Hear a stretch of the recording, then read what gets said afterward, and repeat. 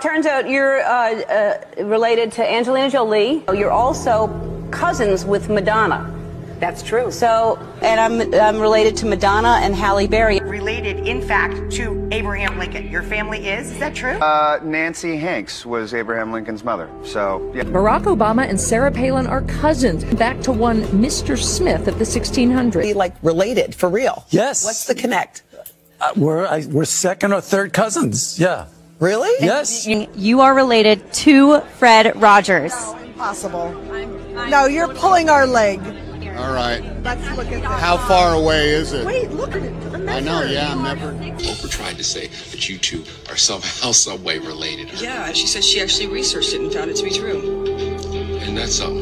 Some kind of Presley with a Winfrey hooked up somewhere along the line in the South. You know how it goes. Cousin Oprah. That's right. And that President Obama is related to all but one U.S. president. Well, Dan, the uh, youngster spent the summer tracing the family tree of our presidents. Her conclusion that all the presidents, with the exception of one, share the same grandfather.